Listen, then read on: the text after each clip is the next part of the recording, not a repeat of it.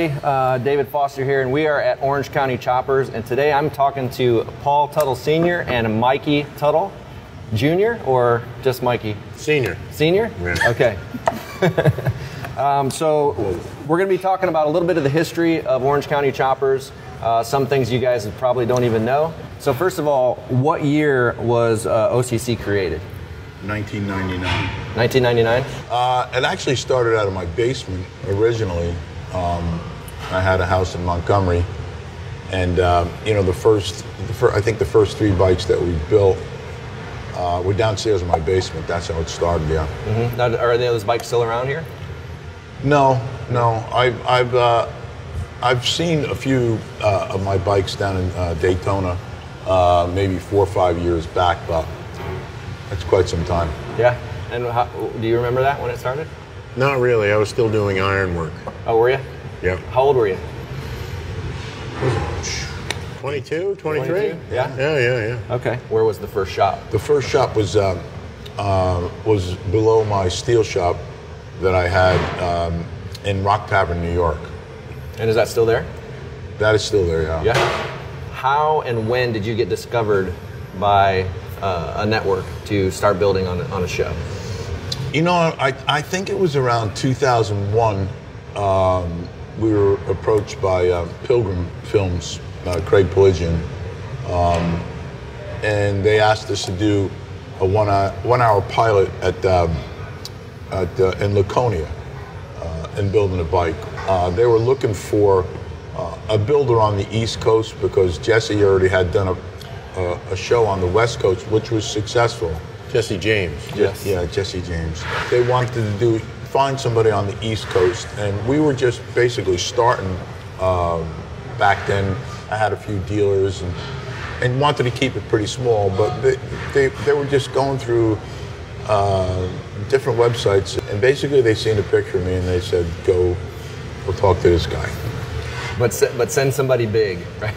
yeah, so that's that's really how it how it started. Then they gave us a call, and um, we wind up doing a one one hour pilot. Um, that was the highest rated show on cable TV when it aired. Um, we did another pilot, which got good ratings, and then um, and then they gave us a series. so now was that the pilot for American Chopper? Yes, Yep. the pilot was for American. Chopper. And how long did that run? About 12, 12 years, right? yeah, about 12 years. Twelve years. Yeah, nonstop. That's a long time. So now, when did you become part of the the series? Were you Uh, in the like pilot? episode, yeah, episode three, first season. Yeah. First season. First season, yeah. And what was Okay. that like? Like you know, all of a sudden you're you- you've got cameras around, people are miking you up. I mean, was that? Yeah, it was a little. It took an adjustment. Mm-hmm. I was used to doing iron work, uh, you know, and I really, I really hated doing it. Did you see that as this as a way out? Oh yeah, Yeah. sure. Yeah, I was taking the first train out, and uh, yeah, so then it was fun. You know, you get used to the cameras like anything, and uh, we got to start doing uh, really interesting things like traveling to different bike shows and meeting people uh, right out of the gate. So I definitely enjoyed a lot more than than ironwork. Right. Well, what, and what was it? Pounding steel. Of steel. Yeah. What was it like to, to adjust to having cameras around all the time? Because it, like when you're just working on bikes and stuff, it's kind of a an intimate thing. You're you're in there, you're working, and all of a sudden you've got cameras in your face and mics and all that stuff. What was that like? I, honestly, for me, and it's pretty obvious if you watch the first show. obvious for for me, uh, I didn't. I didn't. First of all, I didn't think they were going to show what we filmed because it was it was pretty it was pretty raw, you know. Oh, yeah. And especially for Discovery. Yeah. Because they were like ants and bugs, you know what I'm saying? Animals and stuff, and then to, to introduce a show like that. But I think I think you know I think I forgot the cameras were there evidently, and uh, so I wasn't really.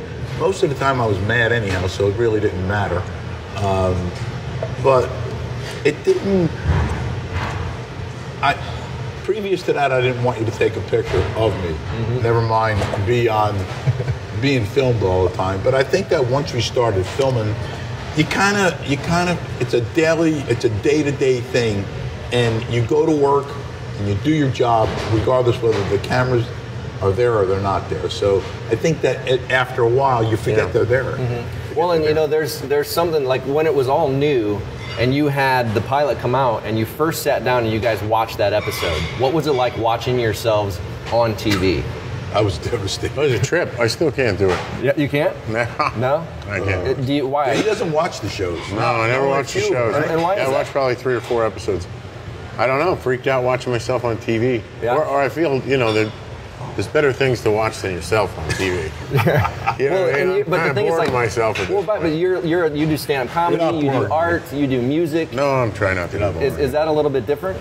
Oh, that's a little different. Yeah, that's live performance. So Right, because you don't mind being in front of and, No. and, and do you watch your performances back? I do, but that's only to improve. Yes. Which I guess if I watched any episodes of American Chopper, I would have improved or, or improved over the. Uh, But I don't seasons. think uh, your character shouldn't have improved. You you were perfect. Yeah, modeled right. Yeah. People fell in love with you. That's good. So you said it was 12 years. So that's is that 12 seasons? Is that how that works? 12 seasons. but we did we did four or five years on TLC, right? Yep. They- but that we- was a different show, right? well, it's Discovery. was the Discovery. same show. But They- we they did just- we did really well on Discovery, really well, and TLC was a dying station, so they thought we were going to be, you know, the the savior, and the audience was totally different. So we pretty much bombed out on TLC. I mean, And we they got moved us back to Discovery. We did well again. yeah, them, you know, they didn't want to move us back to Discovery, and then they did the the junior senior thing. I think is that's when they moved That us was at the end, yeah, yeah. And uh, they and then we blew the charts again with the ratings. So let's talk about the first series, uh, American Chopper. So you guys were just like thrusted into the limelight and thrusted into more or less fame. I mean, you guys were like rock stars. You really were. Uh, touring around. Yeah, so we went what from was, being like dirt next to rock stars. Yeah. So what was that So like? One hell of an adjustment. Well, yeah, because you've got money That flowing was in. an adjustment. Yeah, man. growing pains. Because, like, I mean, there's a difference f- from looking for business and having to turn it away so much because you've got so much coming at you.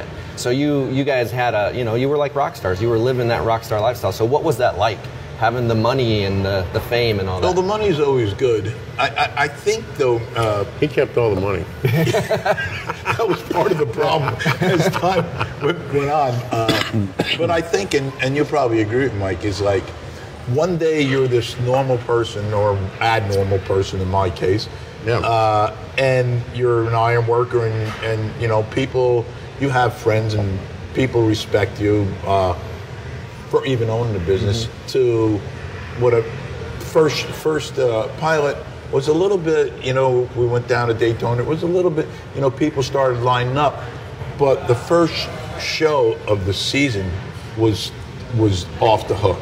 People, there was hundred thousand people. Wow. And I think that was hard to get used to. Was like, why are all these people approaching me?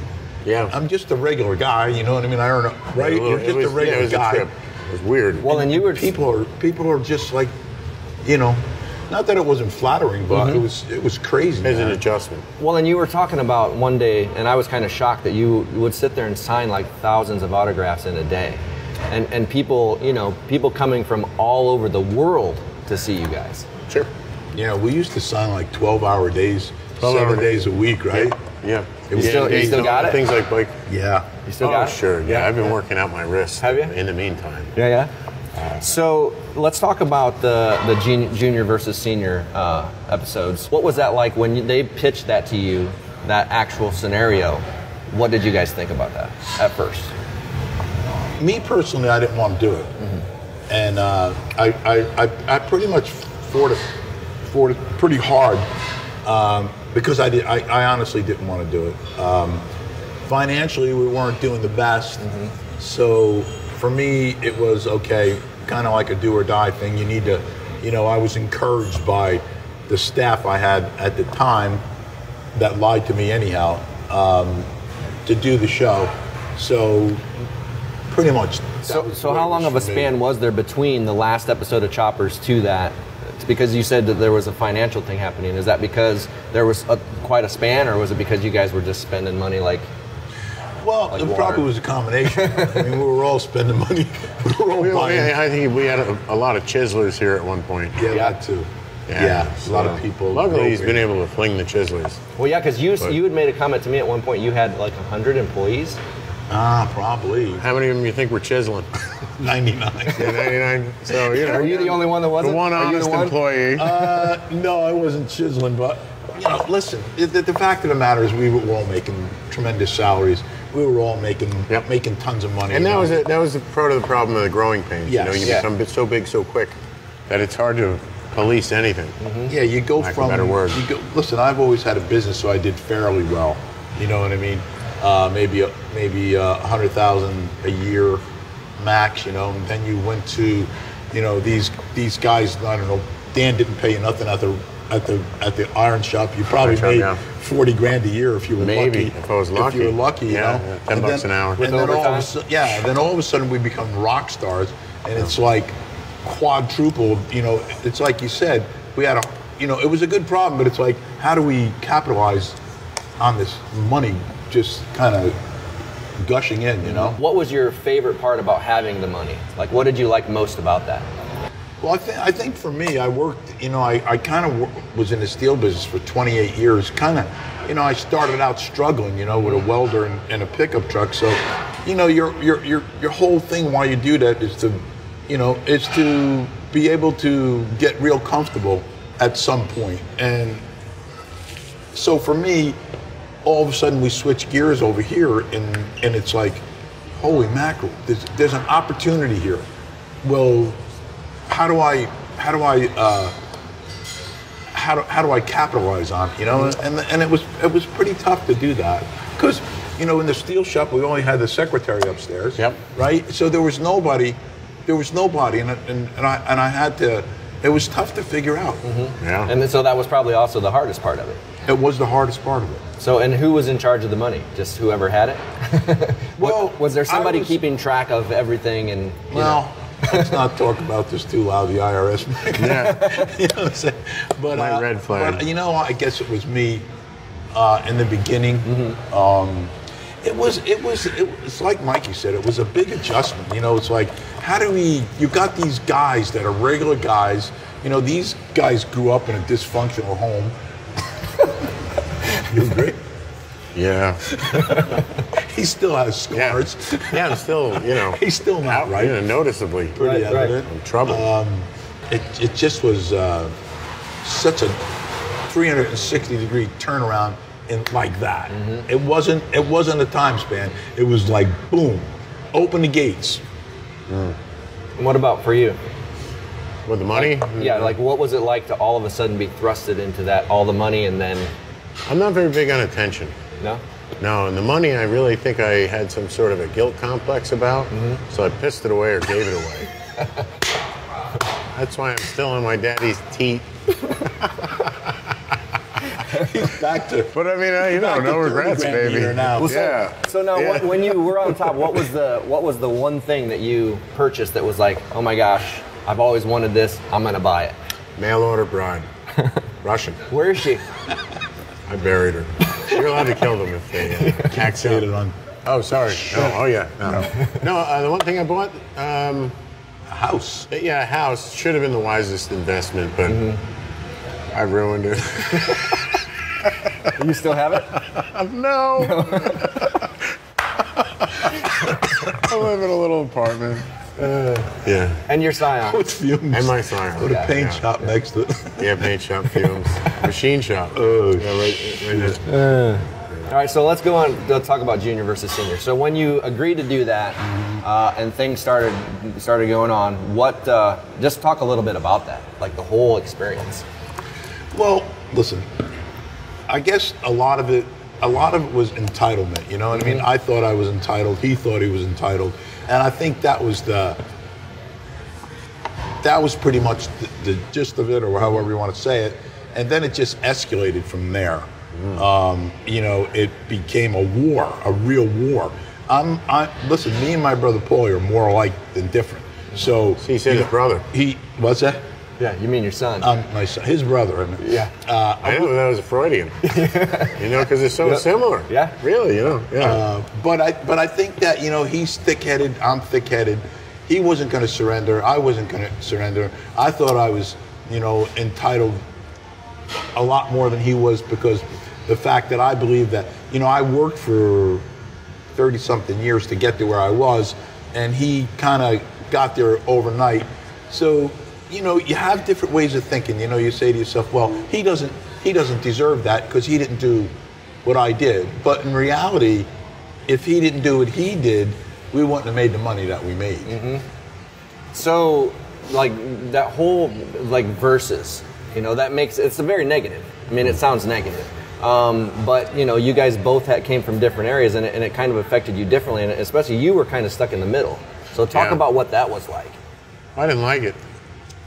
Felt like I had to be a peacemaker and stuff like that. I'm past it now. You know, kill each other. I don't give a shit. but at the time, you know, that was always my place in the family, and it, it was stressful. Like the, the peacemaker, know? the mediator. Yeah, yeah, and then you feel bad, you feel guilty, you know, when nobody's getting along, you know, getting getting along properly, and uh, it's just, you know, Well, it's- it's so a mess. And then I quit early as a result. I quit early the last season. I just uh, didn't want to be in it.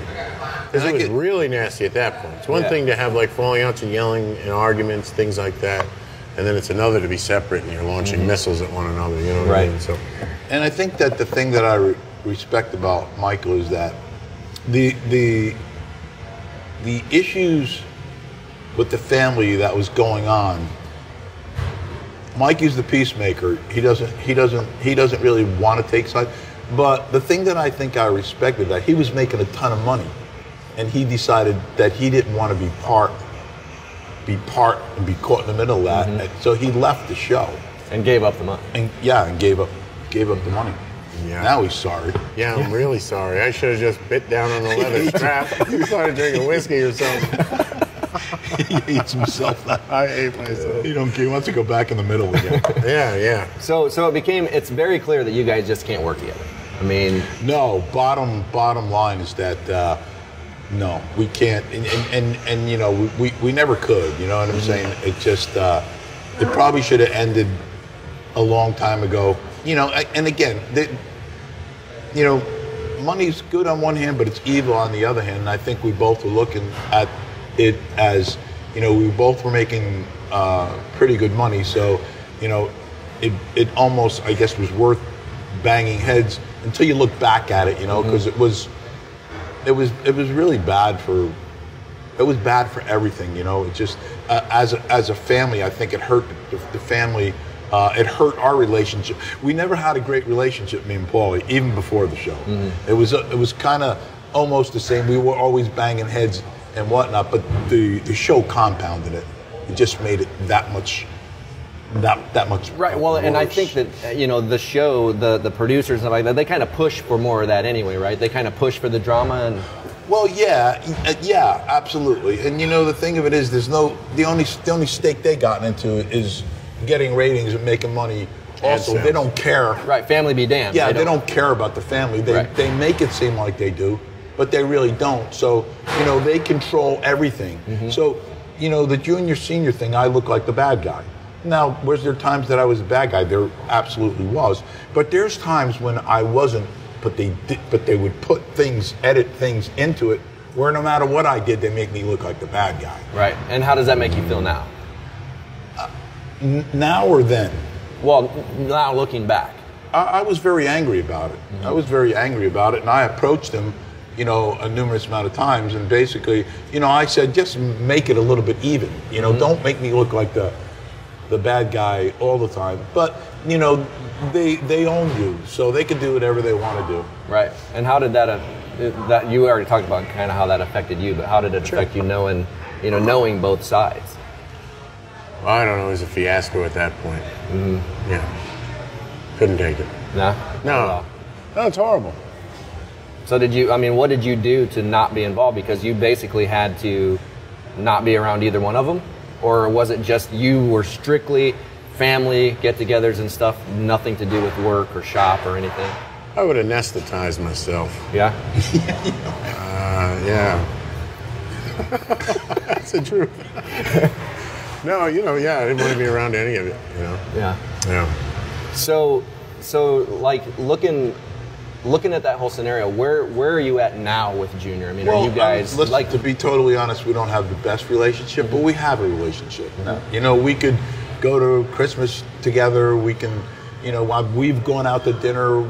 Uh, I've gone out to dinner with him and, and his wife. So, you know, it's it's it's um, civil. Um, but I think the, the the key thing for me, okay, the key thing for me is that if we're going to continue have a relationship, and hopefully it'll build. There's a lot of damage there, hmm. but but hopefully it'll it'll build.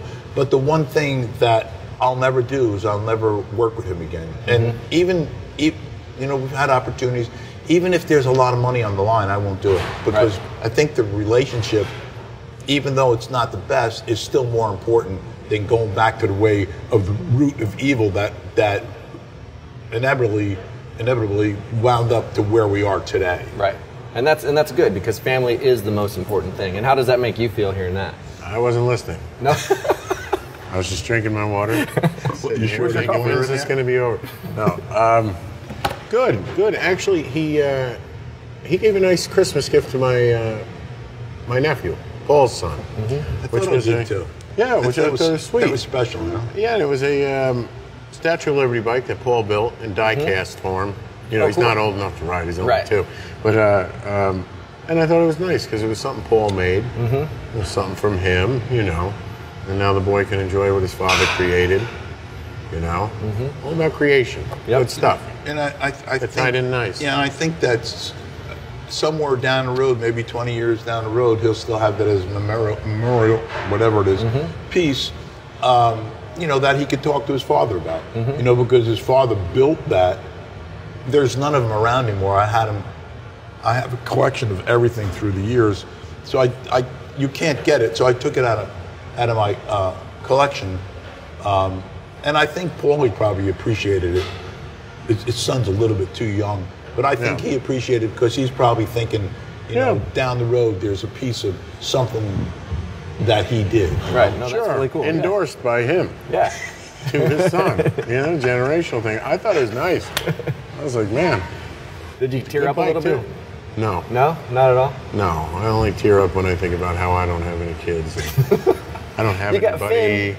I do have Finn. So but now that's we're another gonna, story. Yeah, we'll we'll save that for another interview. So now we're going to talk about. So you shot up to all this fame and everything, and now you're kind of struggling.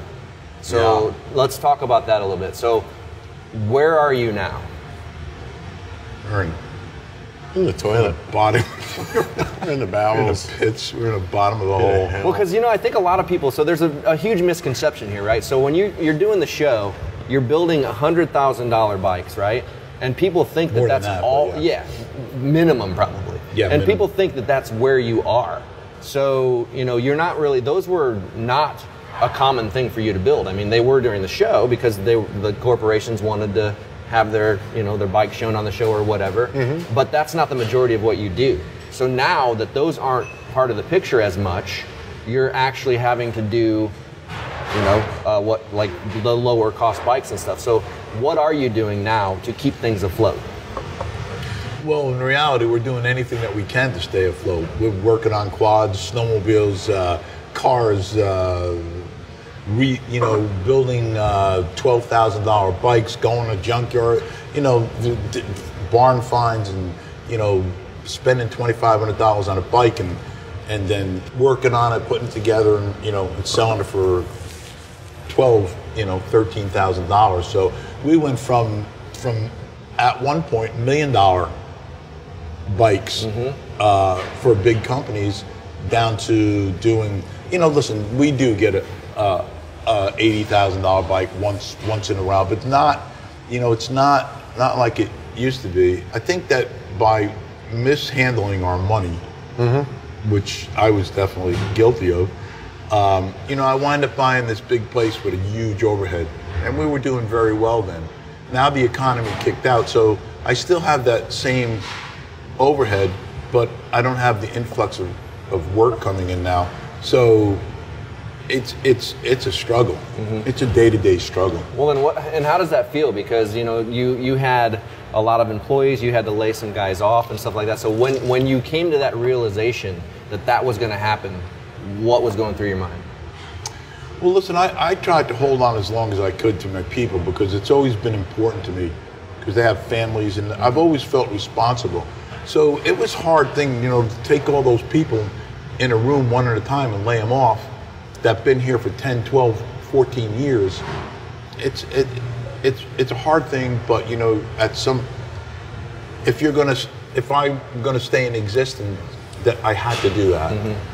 And so, what what was it like coming to that realization? I mean, I can only say it was uh, devastating, and I think I I prolonged it as long as I could. I mean, I have been for the last three years supporting the company out of my own pocket just to keep everybody to keep their jobs, uh, hoping that you know we'll get to the point where you know we'll start building up again, and we are uh, a little bit at a time. But for me to carry the additional payroll to try and get back to where we are, so that you know at some point maybe I can bring those people back. and what do you what was that like for you? I don't know. You know, I do feel bad for the people who were good people here. They put in a lot of time, and they, you know, to lose their jobs. But it's sort of the state of uh, affairs in the country. You know what I Right. mean? It's sort of the situation that it is. But also, I think with the shrinking, um, he lost a lot of people who were here uh, strictly the chisel. Right? You, you know, you get rid of On the, the the bag- fleas, the sleaze bandwagon. bags pretty quick. I think that's sort of a blessing. Yeah. I think so. It's, it's the uh, it's the positive end of it anyway. So I'm sur- so I'm sure there were some that were pretty pretty angry. Well, I think I think the company outgrew everybody. You know, the people that were in place, the company outgrew, and you know, for me, you know, uh, I'm a talent, so go to England, go, you know, so it's hard for me. It was hard for me to keep an eye on on everything, and I trusted the people that were in place here, and like I said, the place outgrew them, and you know, there should have been changes made that weren't, and I had trust in people that I shouldn't have. So now you've got Christian, Phil, Nick, Christian, Jason. Jason. Jason. Yep. So pretty much a, a skeleton Yeah, crew. and uh, you know, it it it's it's it's you know, like you're not you're not in much better situation because now everybody's playing a different role. You know, he's got five roles to play. You know, he's got to do this, he's got to do that. Christian's got to be the parts guy. He's got to be the mechanic. You know what I'm saying? He's got to be the shop foreman. He's got to be. You know, everybody's got five or six jobs to do, and now that becomes very difficult too. What are your goals to get things stable again? Like You know, I've been going to Europe and we're pretty popular over there in Europe. And when I went over there, when we went over there, so we started doing some business deals over there. One of them was uh, for the Harley Davidson dealerships. We met some people over there, and what we're doing is starting a parts line, which I think is a good future. It's just I'm gonna have to get there. The other thing is next month we're going there, and Italy. we, are going to Italy. Verona, yep. Yeah, Verona, and we're launching a um, a, uh, a clothing line through all out through Europe, which which I think is is going to be uh, big. So there's, I mean, I could probably go, on, but there's multiple opportunities right now. you're diversifying. Diversifying, yeah, um, but again, we have to make it. The runway's running running out. You know what I mean? So we we have to make it to that point to get back Your your ma- under your mattress is getting it more empty. You're having to lift it up No, higher to get to the middle. What made you decide to go with the crowd crowdfunding model? you know, part of the part of the problems in the past was kind of like I was talking about, not you know making you the bad guy and you know um, not having full creative control, which to me is very important. Um, if me and him want to blow up something, we're going to blow it up. You know what I mean? Right. But I think I think that I think that you can give the audience more than you could with a regular show. Right. Because now you can listen to the audience. You have regular show, you have restrictions, you have to kind of like, um, you sort of, uh, you have to do whatever, whatever right. the, yeah, whatever the network Well, and, and they can make you look like a bad guy, and you can't do anything about it. Well, I think I think I think it's important. I'm- I'm sorry to interrupt. That's okay. Maybe now he can make himself look like a bad guy. like a what? You can make yourself look like a bad guy if you want. Yes. Yeah. I don't really care. Um, now I forgot. Oh, Ah, shit, No. I got it. Just came back to me. Good. Um, I think what's important is that we have so many fans that is that ask for certain things. They're begging for the show to come back on. But I think that if you're able to have uh, control of your own Your content. content, Yeah. you could listen to what your fans are saying. Hey, we need, you know, we want to see blow ups. We want to see uh, Mikey with his clothes off. No, maybe not. No. They've already seen that. Skip that. but you understand what I'm saying? It, it gives us control. So yeah. So why should why should they like what could you say to the all the fans that have been around all these years? Like what do you have to say to them?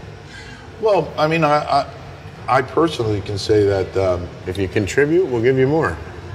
Right? well, If that's yeah, yeah, yeah, more or less. That's that's you know, Or it- contribute it- so we can give you more. Everything, everything, everything. Um, there's a, there's a fee for everything that you do. You know what I'm saying? So, if you're um, if you're going to be doing uh, a show, you need production company. You need all. So that's where those funds will go into uh, helping us to keep creating uh, new shows, and Right. that's really what we what we want to do. Well, and one of the differences is like if you look at a production company coming in here, you're looking at you know seventy five thousand dollar minimum to do a show, whereas Yeah. doing it yourself, you're going to be able and, to and then it has to cost. be edited. So Yep. it's it's a, it's a pretty big it's a big expense.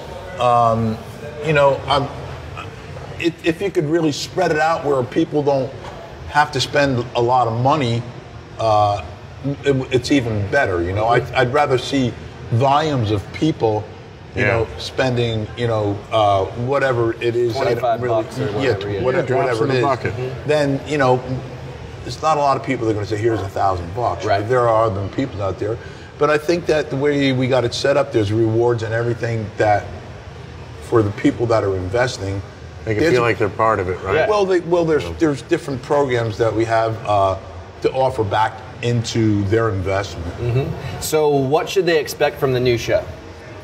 I mean, we're talking about breaking the fourth wall. We're talking about blowing stuff up. I mean, it's pretty much it's pretty much now you're going to have the freedom to, like you said, give them what they want. So what can they expect? Just you guys, it, it, more like the American Chopper raw. I don't know. Would it be wrong to ask for requests from people as to what No. they would No, like? I think no, No, I that's- think that's- I think, Right? Yeah. I think we have to have a direct, like when we sit down, we do a creative. Yeah. Right? So I think Lost I think we have we, we, we do our own creatives, which is, you know, we're not told you you have to do this Mm-hmm. or you have to do that. So I think that, like what he said, that's that's important that we are able to do that. So, you know, if you guys would like to support the show, uh, go to patreon.com forward slash Orange County Choppers, and you're going to see all of the rewards there. They're, you're going to get behind the scenes content, you're going to get videos, exclusive videos, pictures, uh, get to talk to Mikey and Nick, get to talk to Senior. I mean, all kinds of cool stuff. So make sure you go there, patreon.com forward slash Orange County Choppers. Thank you very much. This has been Mikey Teutul and Paul Teutul Sr., uh, and we'll see you soon. Say, guys, Be there. be there or Or die. there. Oh, do it. Be there. be there. You got to do it in unison. Oh yeah. Okay. Ready? One, two, three. Be there. Sunday, Sunday, Sunday.